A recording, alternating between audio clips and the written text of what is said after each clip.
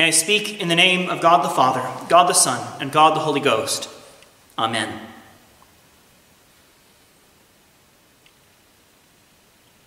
There's something uncanny about a corpse. It's true. I remember the time I was walking through one of the major cemeteries in Buenos Aires, Argentina. And though I had seen a dead body before and I'd been in the presence of a corpse, I'd never been particularly unsettled until, as I walked through that cemetery, I could see the coffins stacked one on top of each other through the open grate work on some of the old tombs. It kind of freaked me out. I found myself walking faster and faster, just wanting to get out of the cemetery. There's something uncanny about a corpse. That story is sort of funny in light of the fact that now I practically live in a cemetery. For those of you who know the layout of the Christ Church campus, the rectory is right against the churchyard. Why do we feel that way in the presence of the dead? I always think of Ezekiel being placed down there in the valley of the dry bones and speaking to them, commanding them, prophesying to them that sinews and flesh and skin might come upon them. But the breath was not in them. And in that moment, Ezekiel was standing in a valley filled with lifeless corpses. How weird! How scary! How awful! There's something uncanny about a corpse. I think it's because when we look at a human being, we look at a creature made in the image of God, a creature intended by God for life. And when we see that the breath of life has departed from that image bearing creature, we see that something is not right. Something has not gone according to plan. Something is wrong. Something is uncanny.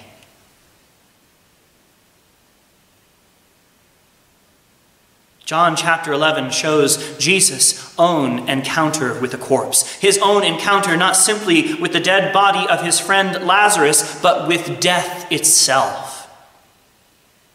We see Jesus moved in his guts. None of our translations render the Greek effectively enough. He is grieved in his core as he stands at the tomb of his friend and he weeps. He's not just lamenting the loss of one person that he loves. He's not just lamenting this one death. He's lamenting death with a capital D. This destructive force that mars the image of God implanted in human beings and takes away the breath of life, the very Spirit of God blowing in and through us.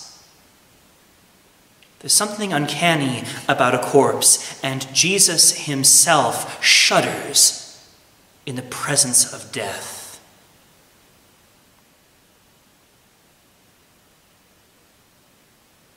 There's fear of death in spades these days. Not just fear of the physical death that might afflict any of us at any time, whether from the coronavirus or anything else. There's fear of death for our economy, fear of death of our livelihoods, of our businesses, fear of death in our communities, fear of death for our nation, and indeed of the international economic system upon which we all depend. There is great fear of death abroad in the world this day. And some of that uncanniness that we feel in the presence of a corpse, we feel when we look on silent city streets when we see photographs of empty airplane or airports, that's the word I wanted, or train stations. When we see store shelves that are swept bare, or find that our favorite restaurants and shops and businesses are boarded up. There's something uncanny about all of this, something strange and unsettling, and we may well react in the same way that Jesus reacted at the tomb of his friend Lazarus. It's okay for us to weep in these moments. whether actually shedding tears over what we have lost or finding a sort of internal grieving gnawing away at our core. Acknowledge that feeling. Recognize that it's there. We live in uncanny times. And here, in the presence of corpses, literal and metaphorical, we find ourselves unsettled and upset. We have to say those words out loud. Jesus was not afraid to weep at the tomb of Lazarus, and neither should we be afraid to grieve for what we feel we have lost.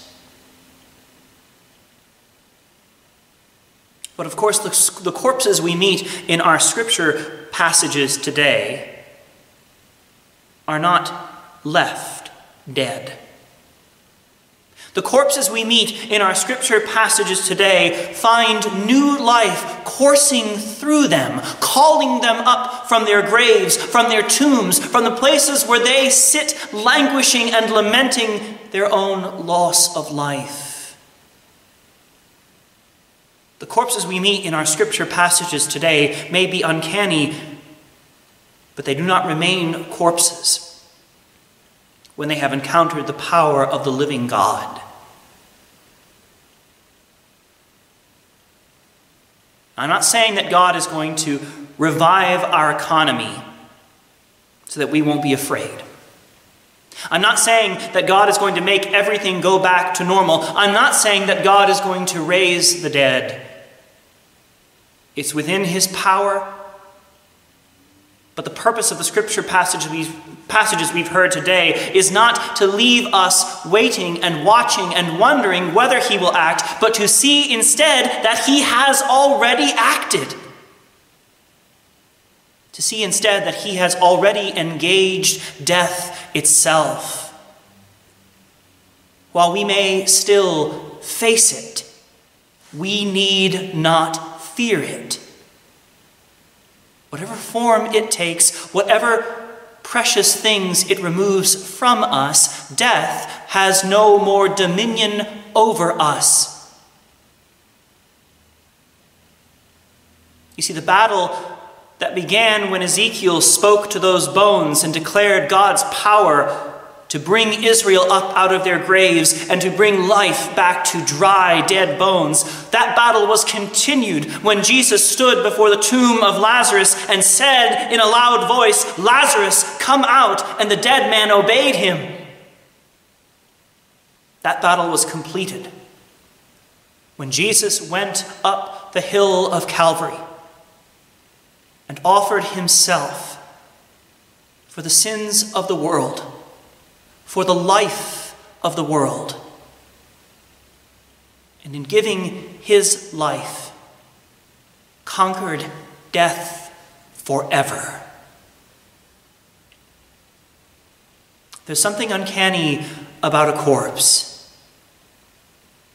But we are not called to grieve over loss as those without hope might grieve.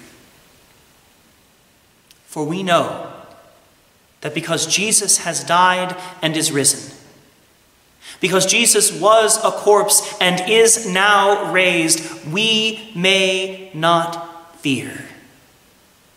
We need not weep. We may acknowledge the anxiety we feel, the uncanniness that it causes for us, and then we may put our trust in the living Lord who calls us up out of our tombs, calls us out of our graves, and gives us his life. Thanks be to God, who has given us the victory through our Lord Jesus Christ. Amen. And now may the blessing of God Almighty, the Father, the Son, and the Holy Ghost be upon you and remain with you always. Amen.